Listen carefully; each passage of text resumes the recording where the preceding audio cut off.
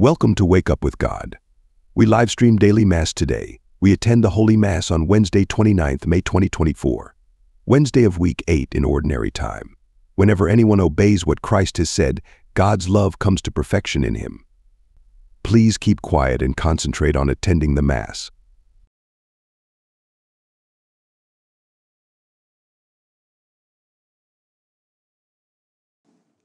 We come before the presence of God, the God who gathers us in His love and in His Spirit. In the name of the Father, and of the Son, and of the Holy Spirit. Amen. The grace of our Lord Jesus Christ, and the love of God, and the communion of the Holy Spirit be with you all. And with your spirit. My dear friends, we are gathered in today's Mass and we seek the grace to be holy. And for our special intention, we pray for people who are affected by the recent typhoon, and we pray for their uh, speedy rehabilitation. Coming together as God's family with confidence, let us ask the Father's forgiveness, for He is full of gentleness and compassion.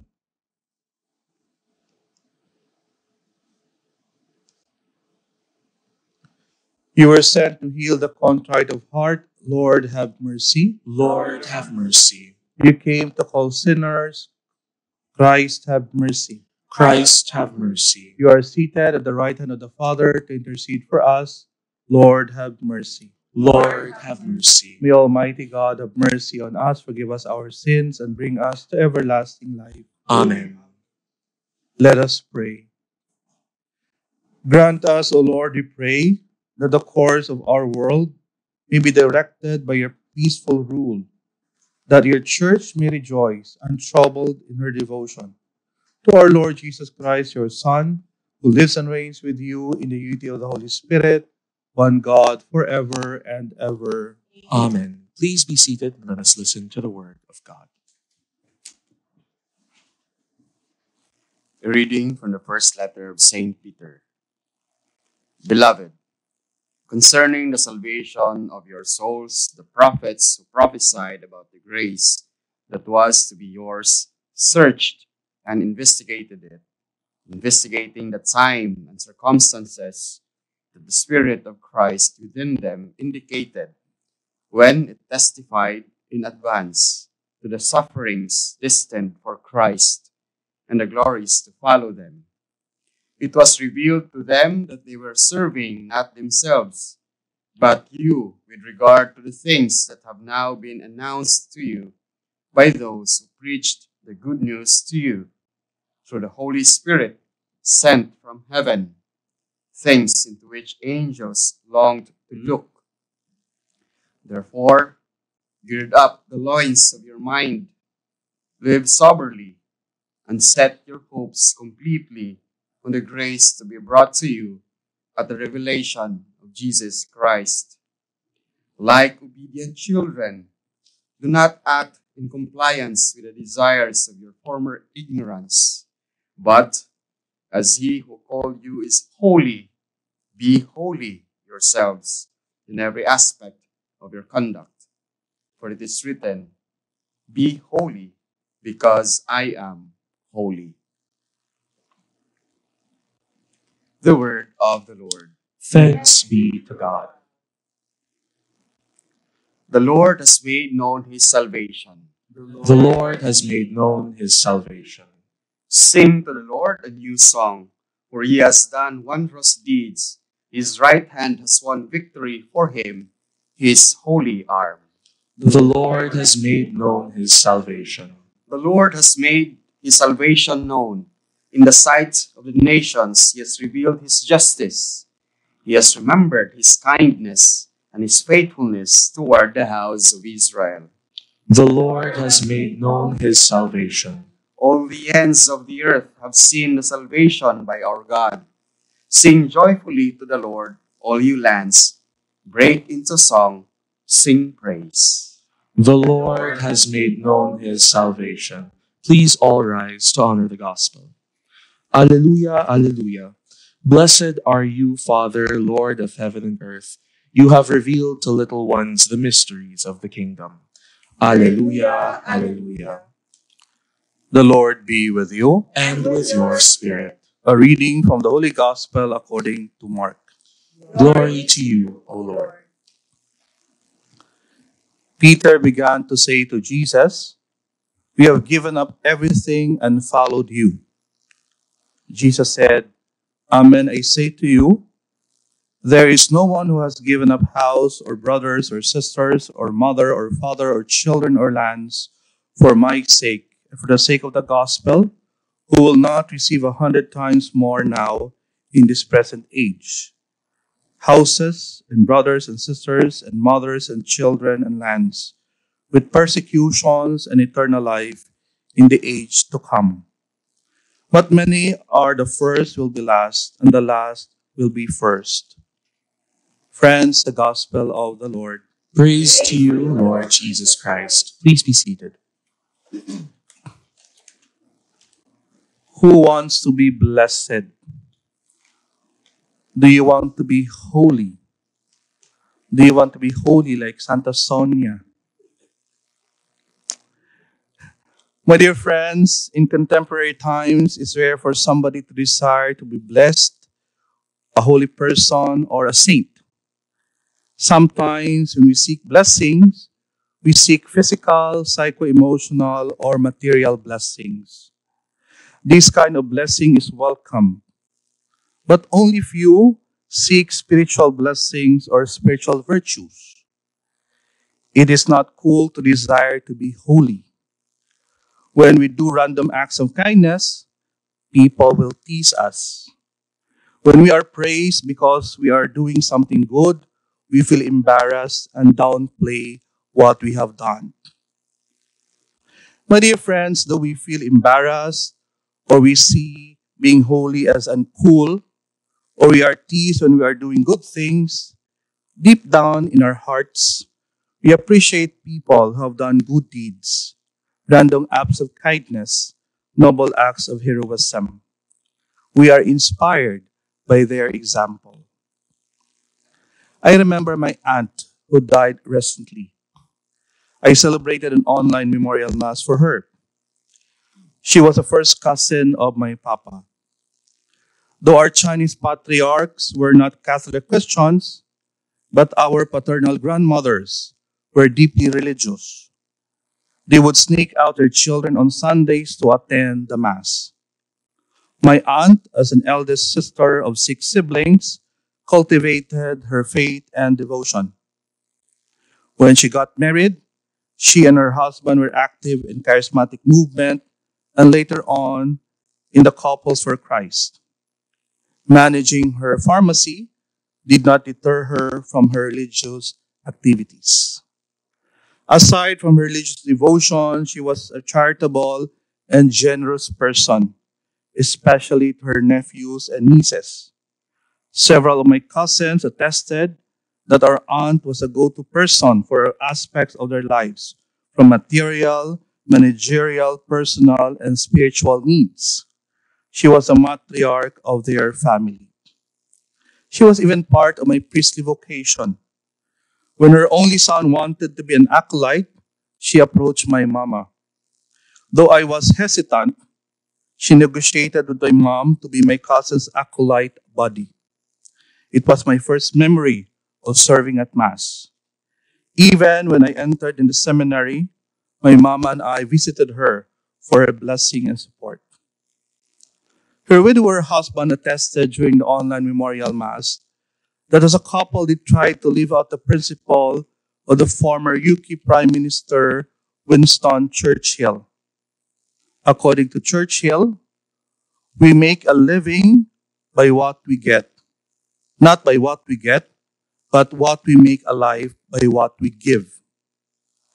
Reflecting on their lives together, my aunt's life was really about giving generously giving herself, her time, and talents to family and to church. In giving, she made her life a blessed one. Her holy life became a blessing to her family and community.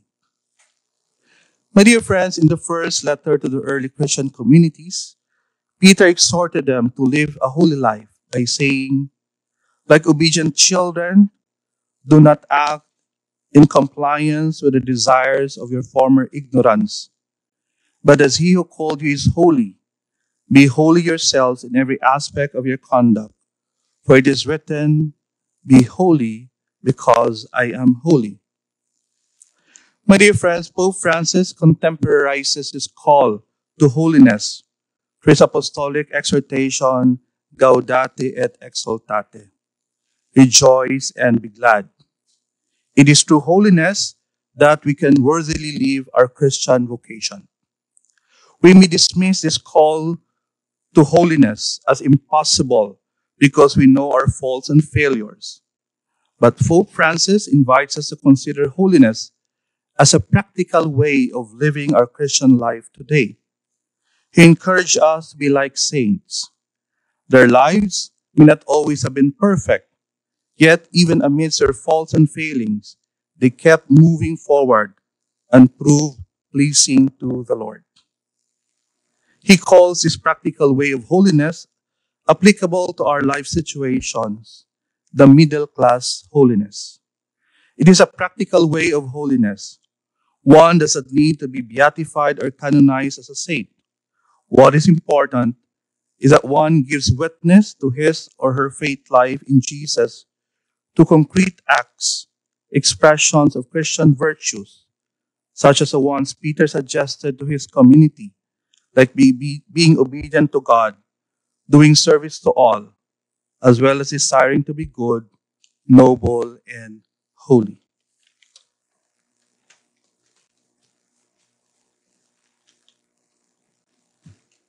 My dear friends, let us offer our prayers to the Lord. Aware of the danger in putting our trust in the pleasures of this world, we lift up our hearts in fervent prayer to the Father, saying, Lord, hear our prayer. Lord, hear our prayer.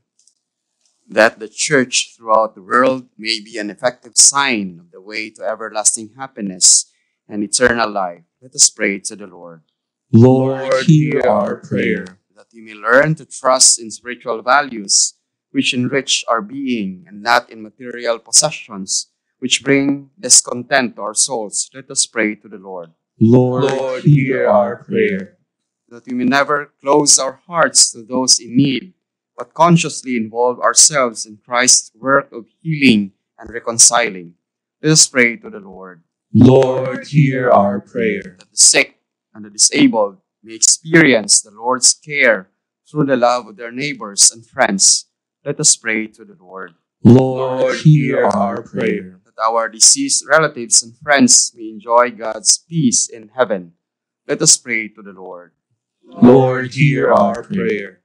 For those celebrating their birthdays, Helena Nunag, Amina Latinazo, for the healing of Edman Rafin, Malo Ortega Pastoral, Milas Soledo Garcia, Dores Orejana, Joaquin Patawaran, Dr. Raymond Alonso, Jesse Sadiwa, Seth Vergel de Dios, Abi Puno, Karina Ali, Tisha Aganon, Lydia Jean Climaco, Stella Marina Garcia, May Saines, Sherry Ocampo, Isosita Cabañas Teves, for the repose of the souls of Inigo Cleopas Lindiola, June Di Mayuga, Reginaldo Fulgar, Nina Carrion, Norberto de la Serna Sr., Horacio de la Rama Sr., for the special intentions of Divi, Anisha C. and family, Sandy, Grace D. and family,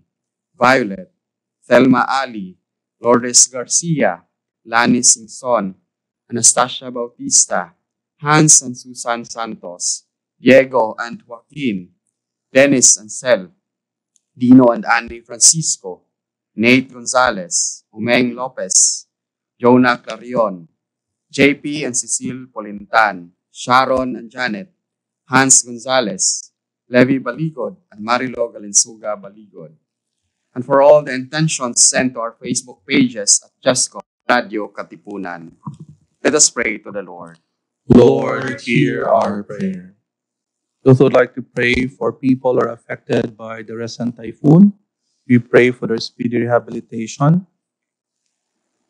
We pray to the Lord. Lord, hear our prayer. Heavenly Father, look with compassion on the needy Enlighten our lives with your truth and give us a grace to live out the high ideals you have set before us by your Son, Jesus, who lives and reigns with you forever and ever. Amen.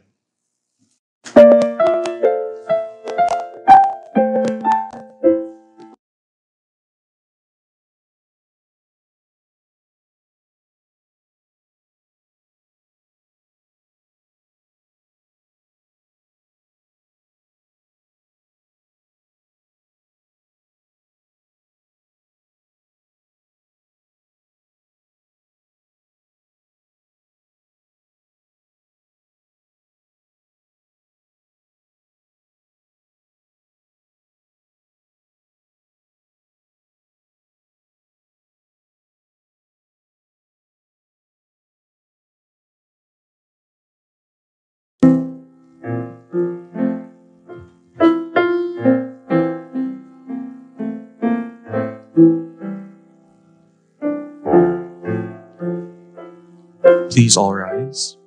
Pray, brethren, that our sacrifice be acceptable to God, the Almighty Father. May the Lord accept the sacrifice at your hands for the praise and glory of his name, for our good and the good of all his holy church. O God, who provide gifts to be offered to your name and count our oblations as sign of our desire to serve you with devotion, we ask of your mercy that what you grant us as a source of merit may also help us to attain merit's reward through Christ our Lord. Amen.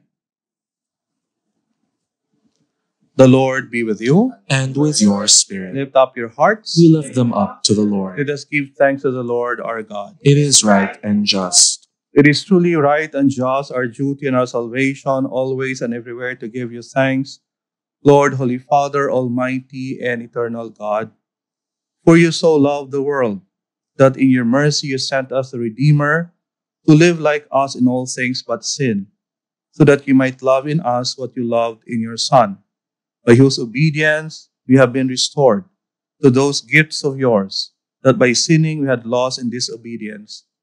And so, Lord, with all the angels and saints, we too give you thanks as in exaltation we acclaim. Holy, holy, holy Lord God of hosts, heaven and earth are full of your glory. Hosanna in the highest. Blessed is he who comes in the name of the Lord. Hosanna in the highest. You are indeed holy, O Lord, the fount of all holiness.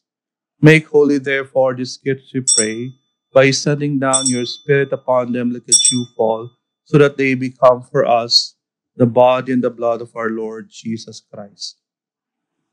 At the time he was betrayed and entered willingly into his passion, he took bread and giving thanks, broke it and gave it to his disciples, saying, Take this, all of you, and eat of it, for this is my body, which will be given up for you.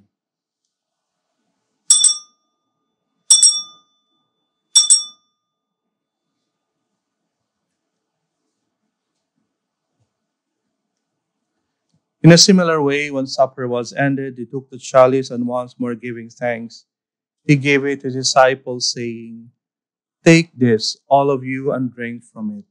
For this is a chalice of my blood, the blood of the new and eternal covenant, which he poured out for you and for many for the forgiveness of sins.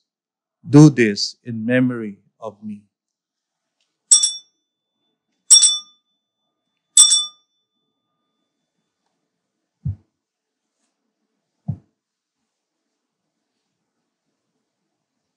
The mystery of faith. When we eat this bread and drink this cup, we proclaim your death, O Lord, until you come again. Therefore, as we celebrate the memorial of his death and resurrection, we offer you, Lord, the bread of life and the chalice of salvation, giving thanks that you have held, us worthy to be in your presence and minister to you. Humbly we pray that partaking of the body and the blood of Christ, we be gathered into one by the Holy Spirit. Remember, Lord, your church spread throughout the world and bring her to the fullness of charity, together with Francis, our Pope, Ernesto, our Bishop, your respective local bishops, all the clergy, and the entire people of God. Remember also our brothers and sisters who have fallen asleep in the hope of the resurrection, and all who have died in your mercy. Welcome them into your light. Have mercy on us all, we pray, with the Blessed Virgin Mary, Mother of God, Joseph, her spouse, the blessed apostles, and all the saints who have pleased you throughout the ages, we merit to be co heirs to eternal life, and we praise and glorify you through your Son, Jesus Christ. Through him, and with him, and in him, O God, Almighty Father, in the unity of the Holy Spirit, all glory and honor is yours forever and ever. Amen. At the Savior's command, formed by divine teaching, we dare to pray. Our Father, who art in heaven, hallowed be thy name. Thy kingdom come, thy will be done on earth as it is in heaven. Give us this day our daily bread, and forgive us our trespasses, as we forgive those who trespass against us. And lead us not into temptation, but deliver us from evil. Deliver us, Lord, we pray, from every evil. Graciously grant peace in our days. By the help of your mercy, we be always free from sin and safe from all distress, as we await the blessed hope and the coming of our Savior, Jesus Christ. For the kingdom, the power, and the glory are yours now and forever. Lord Jesus Christ, who said to your apostles, Peace I leave you, my peace I give you. Look not on our sins, but on the faith of your church, and graciously grant her peace and unity in accordance with your will, who live and reign forever and ever. Amen.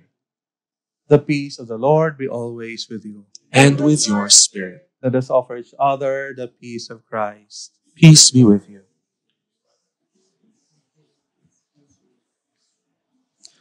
Lamb of God, you take away the sins of the world. Have mercy on us. Lamb of God, you take away the sins of the world. Have mercy on us. Lamb of God, you take away the sins of the world. Grant us peace.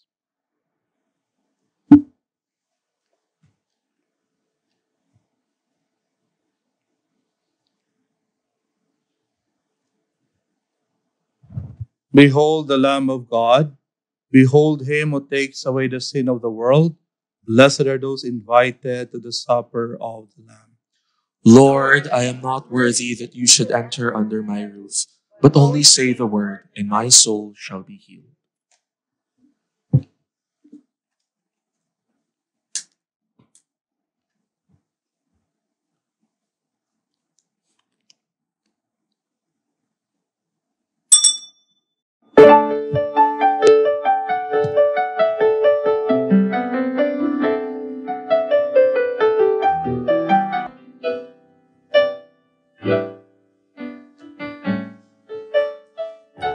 Communion antiphon. Behold, I am with you always, even to the end of the age, says the Lord. Let us pray. Nourished by your saving gifts, we beseech your mercy, Lord, that by the same sacrament with which you feed us in this present age, you make us partakers of life eternal through Christ our Lord. Amen.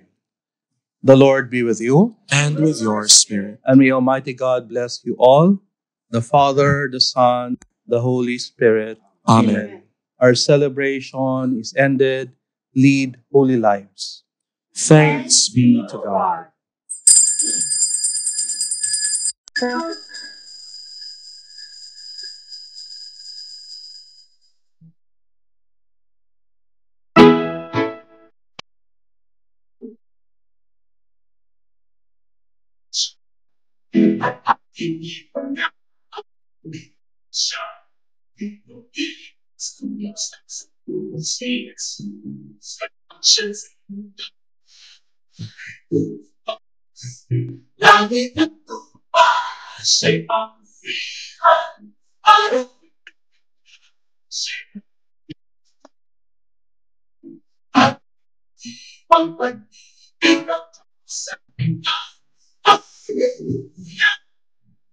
I can say no. Say no.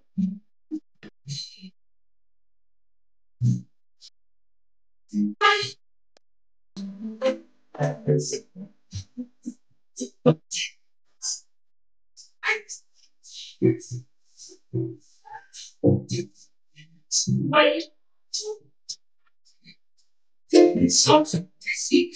Second. Did not.